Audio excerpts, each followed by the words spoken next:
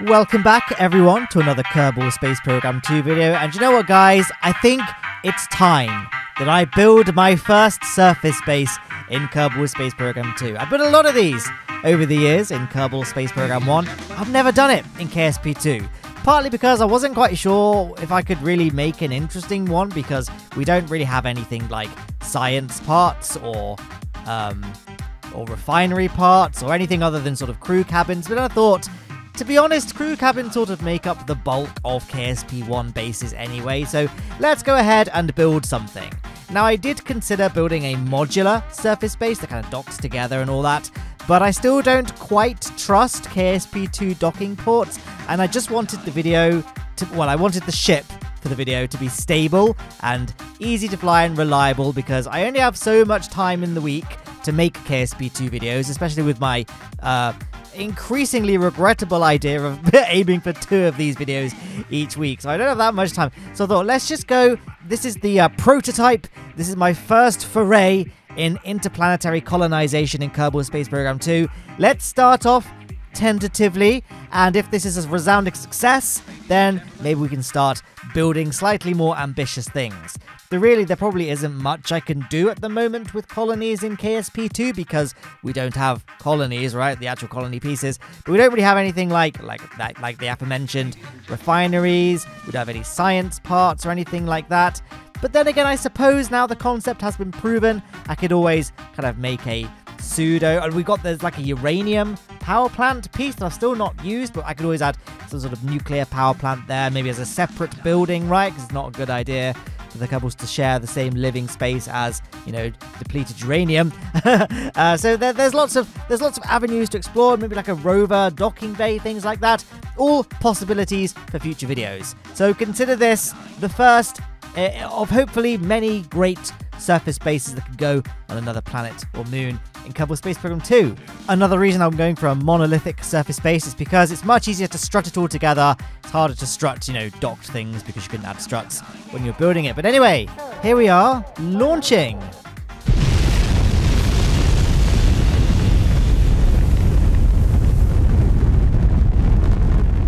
So yeah, as mentioned, I wanted to add lots of struts to this thing because rockets in KSP2 are very wobbly. But as you can see, uh, this rocket is actually no exception. Despite my best efforts, the struts, they didn't do enough. We're really, really wobbling about. Uh, but I thought, I, I, I persevered. I was like, you know what? We can power through this. I'm skilled enough at this game. We can fly a wobbly rocket. But yeah, it's just, it's getting worse and worse and worse until we just reached breaking point. There it goes. Yep. We've lost the flight. Uh, really, it's a real shame. Uh, wobbly rockets are a real problem. There is only really one acceptable circumstance where rockets can be wobbly. And that's when they're plushy! That's right, Lowne Aerospace finally have our very own line of plushies. We teamed up with Makeship to bring you the Beam rocket, with an astronaut that is absolutely not and won't watch you while you sleep, I'm told. Oh my god, where did he go? Ah! That's right, you can remove the astronaut from the rocket after landing thanks to our advanced adhesion technology, exploring brave new worlds like stones, bins, nature.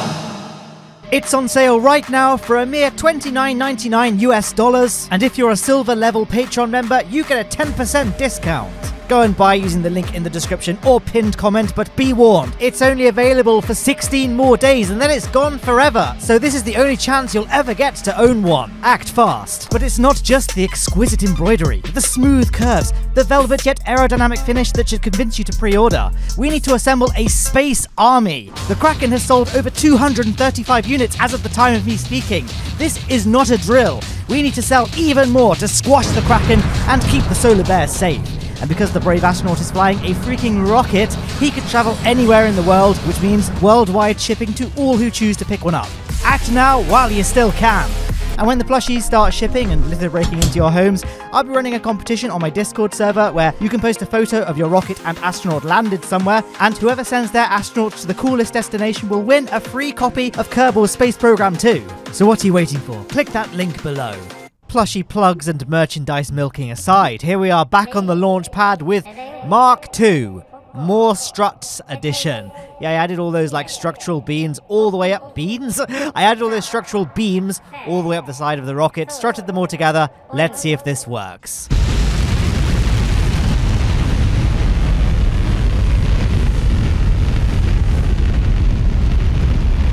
And as you can see, we're off to a uh, much more stable start. There's not the rocket's not got that sort of oscillation. I mean, it's it's not perfect, is it? There is still a bit of a wobble, but I mean, I'd be a fool to expect this to be completely rock solid given the uh, the not aerodynamic at all shape of the upper stage. I couldn't really make a payload fairing around the payload for obvious reasons. It's very very big, uh, but I think regardless, this flies pretty well. Uh, the reason why it's shaking, really, ironically, is those are those stabilization wings at the bottom of the stack. They was there. I I put those there to keep things stable, and they seem to be the cause of our oscillation right now. But again, if they weren't there, we'd almost certainly be pointing the wrong direction towards the ground. Much like another rocket that launched this week that was teased in the plushie advert as well, uh, and that was, of course, the Starship Orbital Flight Test. I guess I didn't even need to say what it was to this video's audience because A, hopefully you're probably all aware of Starship because I've been covering it for uh, like nearly two years now.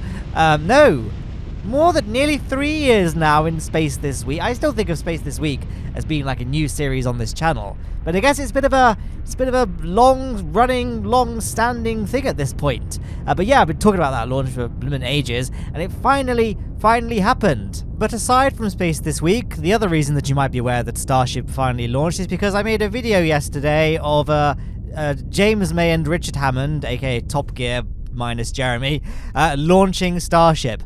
I realized that the uh, the audio and some of the video for the Top Gear Reliant Robin space shuttle launch uh, synchronized very, very well with the Starship orbital flight test because the main problem with the Reliant Robin space shuttle is that it didn't separate from the uh, external fuel tank. And obviously, the Starship orbital flight test, you know how that goes. Uh, here is an issue with my rocket. As you can see, it started flipping around. I couldn't get it to point forwards. Just crossfaded to a quick load, by the way. And I realized that I guess the orange fuel tank is not connected to the decoupler on the Rhino engine. It's just connected to the Rhino engine itself. So I deployed the decoupler and it didn't do anything. And when I staged, uh, there's there's no fuel basically. So I don't know what happened. The up the second stage of this rocket was just useless. I don't know exactly why this was though, because I'm pretty sure I did connect the orange tanks to a decoupler. Maybe I placed them onto the engine plate node rather than the decoupler's node, but I thought the decoupler was placed onto the engine plate node. Or maybe I placed them onto the the Rhino engines node, and then I attached the uh, orange tanks to the engine plate nodes. I, I, I don't I don't know, but that's pro- it's probably something along those lines. Either way, we didn't have a second stage to use on this rocket. Luckily, the swerve stage, our interplanetary transport stage, has enough Delta V to not only do the job of the second stage, but also do everything else it was designed to do. So it wasn't a biggie in the grand scheme of things.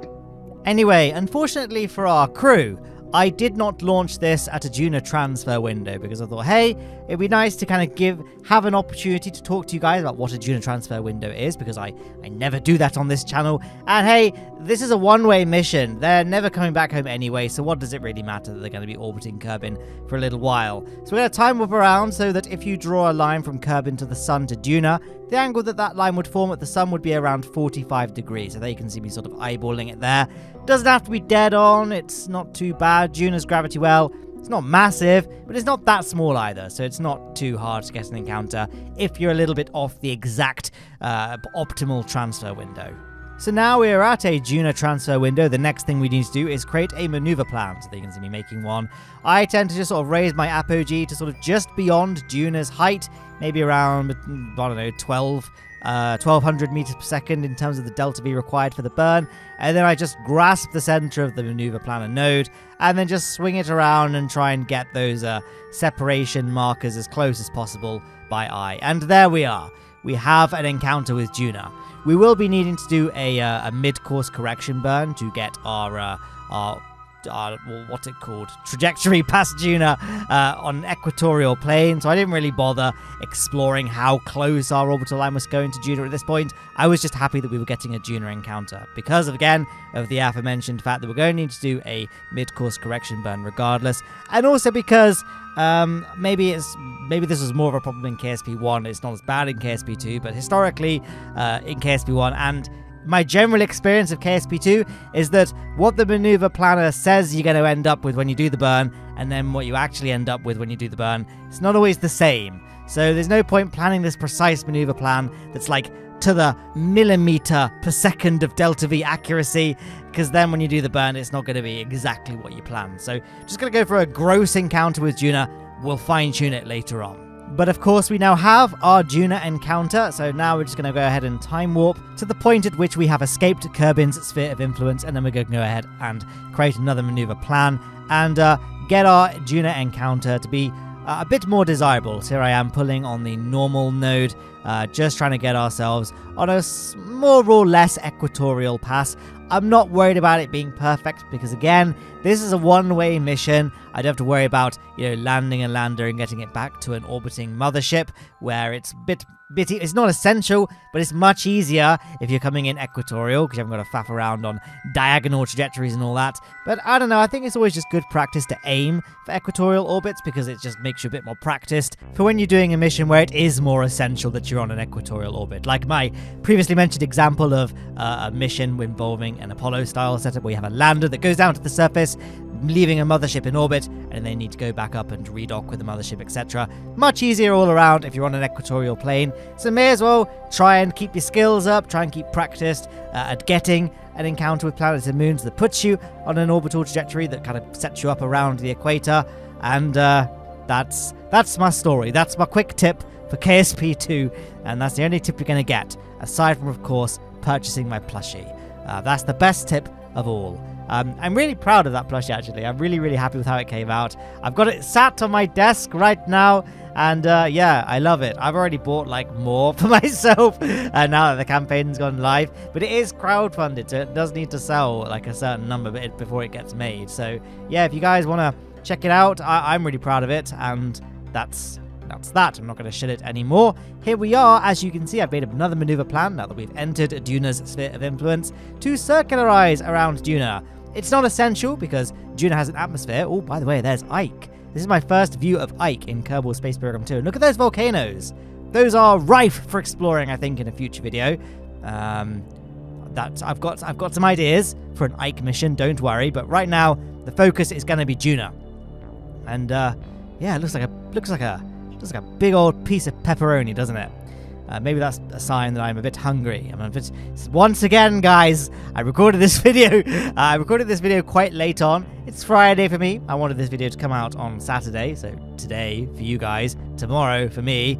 I'm like way behind you guys, uh, but I procrastinated making this video. Like I, I filmed it all, I slapped it in my video editing software, and then I thought, hey, wouldn't it be funny to make a Top Gear launches Starship video? So then I spent like 20 minutes making that and then I was watching it and reading the comments, and I ended up procrastinating like an hour and a half with that video. And ironically, I'm gonna just refresh my YouTube Studio channel dash- dashboard page because, like, I, I didn't really spend that long making it. It was a bit of a, a poop post. That's my safe for work language thing and uh, it's doing better than like any video I've made in the past two weeks it's not quite as much as my um, KSP2, we just learned a lot of new information video where I covered Nate Simpson's Discord AMA. But aside from that, it's doing way better than any of my other uploads.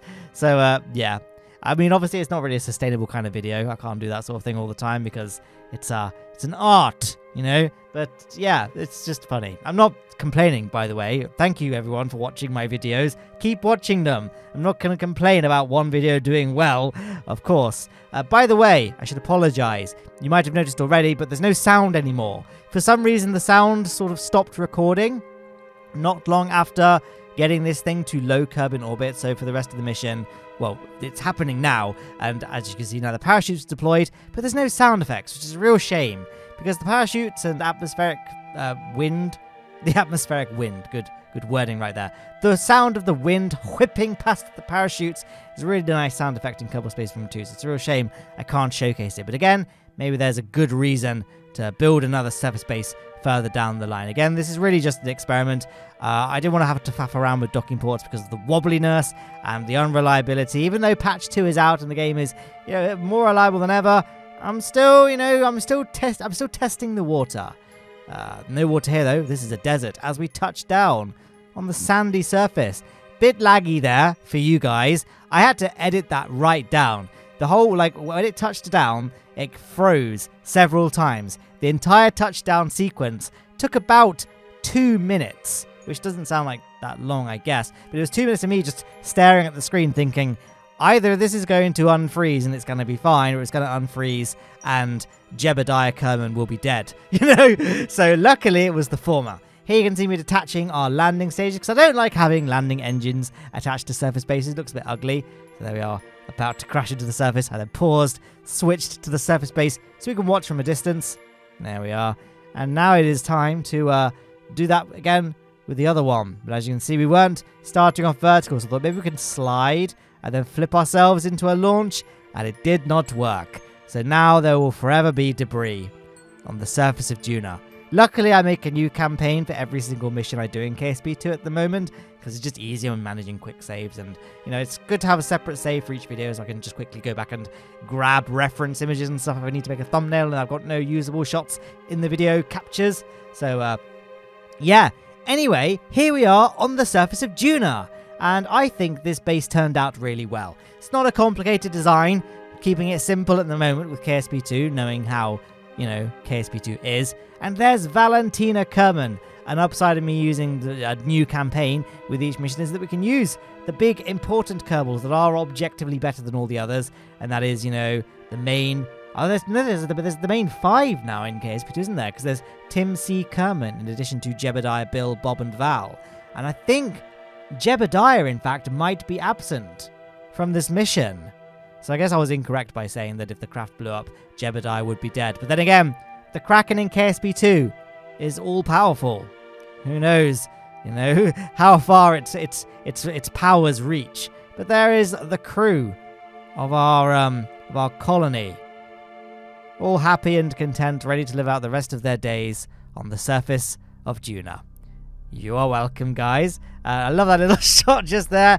I wanted to just make sure that the ladders and all that worked, because as far as my testing has gone, you can't actually use the EVA pack on Duna anymore. It doesn't have a high enough thrust to get you off the surface. So it's imperative that the ladders work and the Kerbals could board the station okay. And as you can see, we could reach not only the lower doors, but also the upper doors. So I was happy with the ladder design, and I'm happy with the base design as well as we do a little awkward pan around, we can't pan around and like spin around vessels anymore with the arrow keys in KSP2. So instead, I just set my mouse's DPI really low and then tried to manually pan round and I don't know how it came out, you guys will let me know. But I think that's as good a place as any to end the video, so I'm going to give a massive thank you now to all of my Patreon supporters and members of the channel that help make all of this content possible. And there's some video suggestions on screen that YouTube thinks you'll like, hopefully they're good picks. And yeah, if you want to support me on Patreon, there is a link to that, to that on screen, a subscribe button as well. And again, if you want to buy the plushie, get a discount if you're a silver member Patreon. Uh, DM me on Patreon if you haven't received your code, but you should have. Uh, so yeah, that's everything. Bye!